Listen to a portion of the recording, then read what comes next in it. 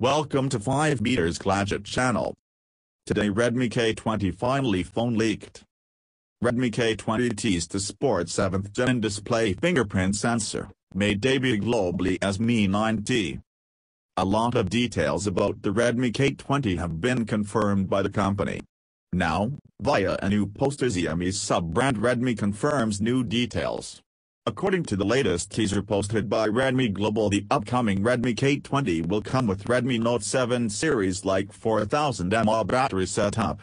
This means the rumors were pretty authentic. Until now all the leaks and rumors revealed that the Redmi K20 series of phones will pack massive 4000 mAh battery.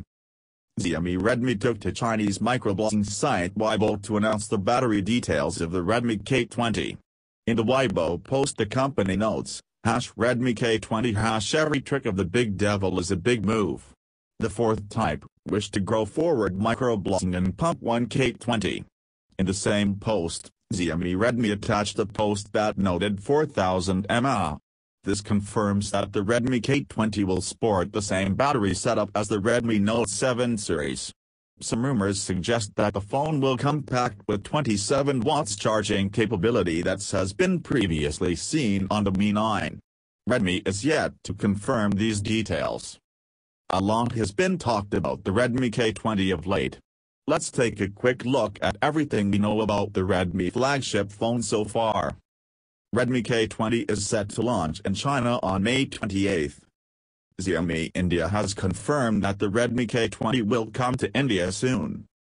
The Redmi K20 is expected to come in two variants, Redmi K20 and Redmi K20 Pro.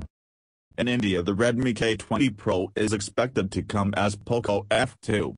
There are no official information about the Poco F2 from the company yet. The Redmi K20 series is tipped to be powered by Qualcomm Snapdragon 855 processor. Rumors suggest Redmi K20 will come with the 6.39-inch OLED display with a 19.5 to 9 aspect ratio. Redmi K20 is expected to include a pop-up selfie camera with a 32MP sensor with f/2.0 aperture.